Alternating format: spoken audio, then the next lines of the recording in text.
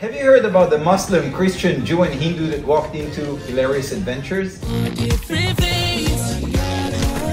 Saving the world together? God's gang, go!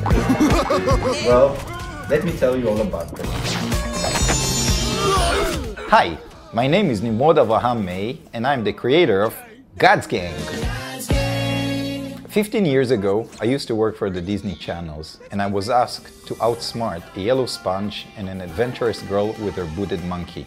Back then, our leading brand was the Power Rangers, and I offered Disney to make them the first ever interfaith group of heroes. And guess what?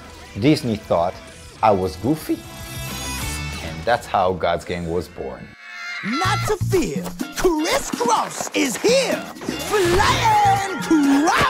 15 years ago, I went on a spiritual journey trying to understand who we are, where we are, where we come from, just to realize that we all come from the same source, aka our Creator.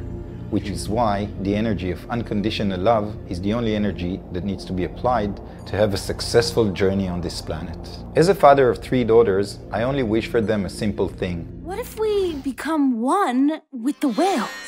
And that's to live in a world of peace, world of kindness, world of compassion, and world of truth.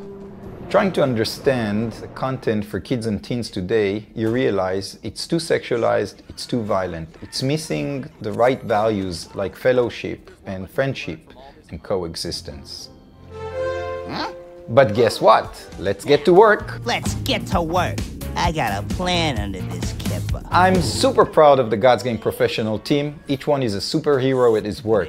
My head writer is a five Emmy Award winner, a Grammy, and a Peabody for Conan O'Brien, Jon Stewart, Angry Birds, The Oscar, Ben 10, and more. My director is a two times Emmy nominee known for Transformers Cyberverse and Vampirina for Disney, also The Oddbods. Try it. It may look weird, but it works perfect. Together! Thank you.